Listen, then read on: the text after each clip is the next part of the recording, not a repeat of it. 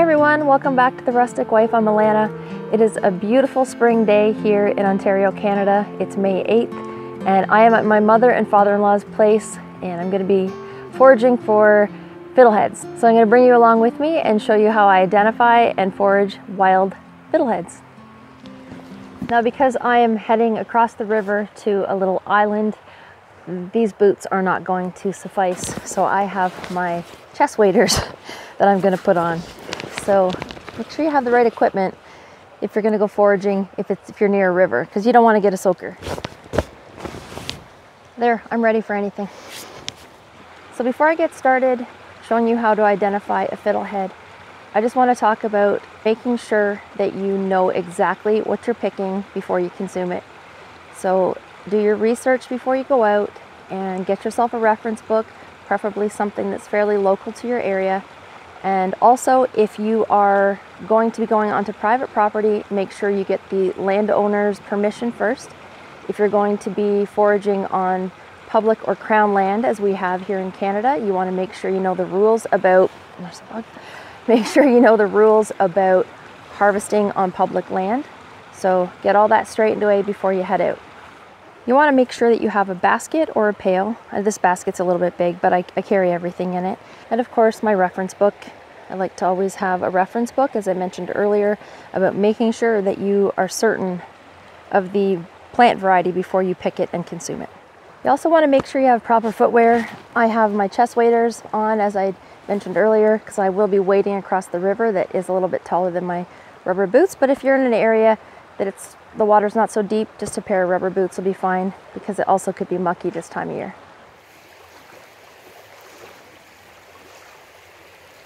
So you can see I've made it to the little island here, which I totally could have gotten to if I crossed the footbridge and came through the woods a little bit, and then I would have just needed rubber boots. I wouldn't have needed to go to the extreme of my chest waders, but oh well, I've got them on now. So I am surrounded by fiddleheads. So before I identify them for you, I want to tell you where you're going to find them. Um, usually the eastern parts of North America, I'm sure they're in most of North America, but primarily the eastern parts. I'm not too sure if they are in other countries. I'm sure they are, but I'm just not familiar where. Um, but you can see I'm surrounded by water here.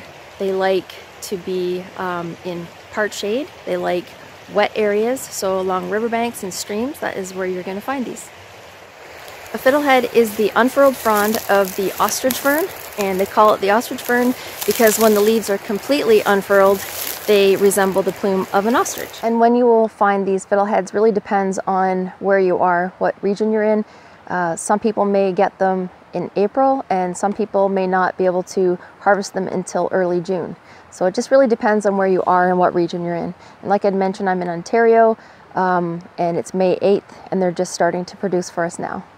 So this is a really good example of the um, ostrich fern plant. You can see that these fronds are from last year. They're, they're dead and they're brown and I'll get to those ones later. But if you look down here, if I move some of this stuff away, you can see the fiddleheads emerging from the crown. And that's what they're, that's what the base is called. It's called the crown. So this particular crown here of the ostrich fern um, it can potentially produce two different fronds in a season. And you can see this one has two, and I'll, I'll tell you why. So this one here that's emerging right now is the fiddlehead, and once that's unfurled, it will produce a sterile frond, and that can get up to about five feet tall. And about two weeks later, this crown can, and obviously did last year, produce um, a fertile frond and these ones are generally about 12 to 20 inches tall and they're they're much shorter than the fiddlehead frond. So these ones are the fertile ones and they produce spores. So once the fiddlehead has unfurled and produced the sterile frond and it's gone through the growing season later on in the fall these ones will die back right to the ground. But if the crown has produced a fertile frond it'll stay brown and upright until the following year, and that's what this one is right here. So that is the fertile spore-producing frond of the ostrich fern crown. Some crowns actually don't produce the fertile uh, fronds, but some do. The ostrich fern can be produced by the spores, but usually it grows more quickly um, from underground rhizomes. Now to identify the ostrich fern, you want to look for a smooth green stem. I'm actually going to pick this so you can see it. So you can see the stem is a lovely bright shade of green and it's smooth but on the inside, there's a U-shaped groove, almost like celery. Kind of does remind me of a celery stalk. Another indication that this is the fiddlehead of the ostrich fern is this brown, papery, scaly covering on them. And of course the color, which is a lovely dark shade of green.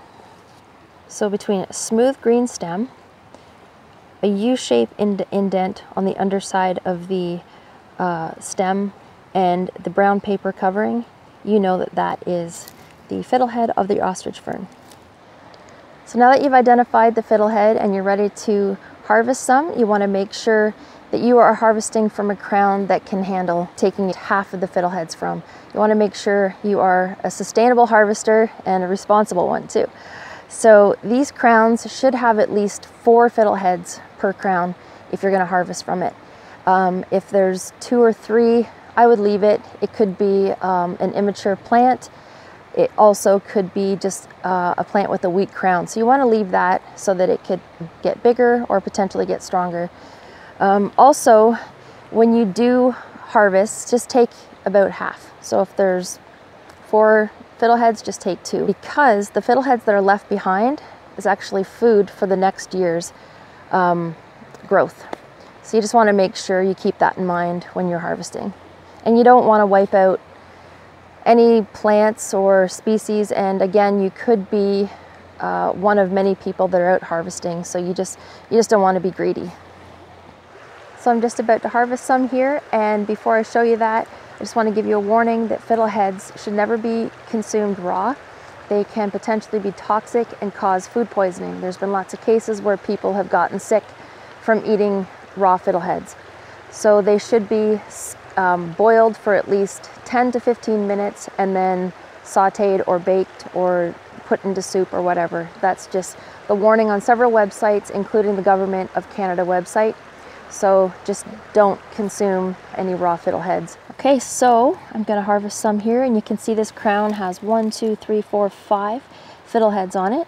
You want to look for ones that are bright green. I'm going to pass on the ones that could potentially be discolored or unfurled. You want to make sure that the end is quite um, tightly curled. And you also want to make sure it's at least two or six inches tall. So these ones look good. And again, you only want to harvest half of what's on the crown. So for this one, I'm just going to take two and these look nice. So you can use a knife if you want, or you can just snap them off. So that's a nice one. And this one is starting to uncurl a little bit, so I'll take this one down here.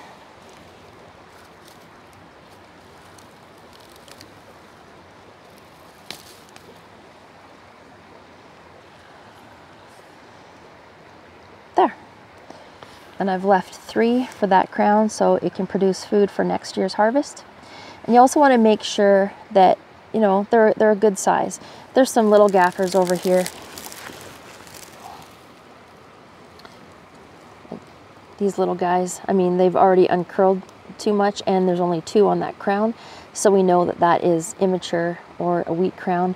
My guess is the, the size of it means that they're quite, they're quite new. So I'll leave those ones alone and same with these ones. Too small. You can see this crown here, it's already started to unfurl, but these ones over here look pretty good. So these ones down here, this one's more tightly curled than that one, so I'll take this one. And again, that brown papery covering just comes off when we wash them. In this little cluster here, it's not tall enough. They're just emerging from the crown. There's quite a few here. I can always come back in another few days.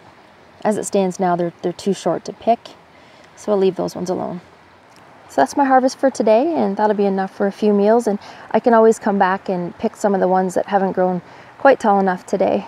I don't know if I mentioned earlier, but as you've probably gathered, they call them fiddleheads because they resemble the end of a fiddle or a violin. When you're done harvesting and you head home, you want to just run these under some cold water to get that brown papery covering off. And then, as I mentioned earlier, you should boil them for about 15 minutes and then saute them, fry them, bake them in a quiche, or put them in a soup. Some people freeze them. I have never frozen them. I'm always worried what the texture is going to be like after. So you, you can freeze them. I think you should probably parboil them first before freezing, but um, I'm not too sure. Once you're done washing them and you're not going to eat them right away, I usually just put mine in between paper towels and then put them in the crisper of the refrigerator. So remember when you're harvesting any wild edible, take what you need and make sure you eat what you take. You don't want to waste any of this precious food. So my fiddlehead harvest is done for today. I'll probably come back in another couple of days when more have popped up a little bit taller. And then I'll probably have had my fill of fiddleheads for the season because it's always a treat. If you enjoyed today's video, please consider subscribing and good luck on your fiddlehead forage. And I'll see you again next time.